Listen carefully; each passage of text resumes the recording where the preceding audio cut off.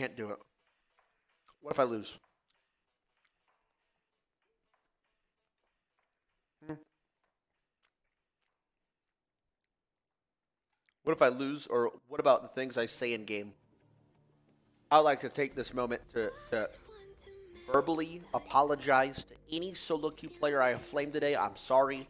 I didn't mean it. I was tilted. I was frustrated.